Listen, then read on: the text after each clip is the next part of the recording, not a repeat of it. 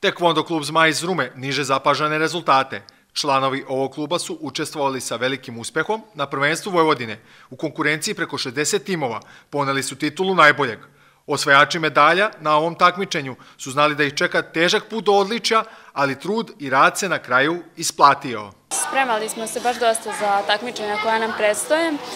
Na takmičenju smo imali 12 takmičara gde smo Stefan Marković i ja bili odgovorni za drugare. Osvojili smo mnoge medalje, između ostalog ja sam osvojila zlatnu medalju. Nije bilo toliko naporno koliko smo posle bili ponovni na naš rezultat, s tim da naš trener nije bio sa nama.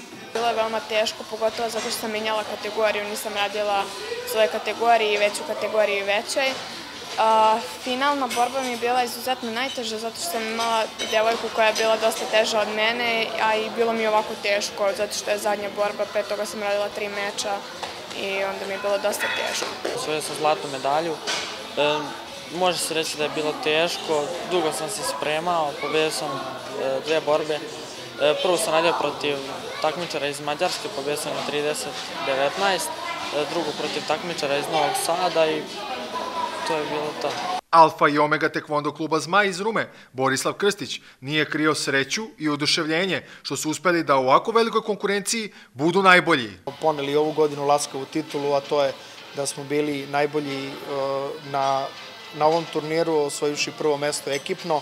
Vratili su se sa preko 20 medalja u svim mogućim konkurencijama, bilo da su juniori, kadeti ili seniori.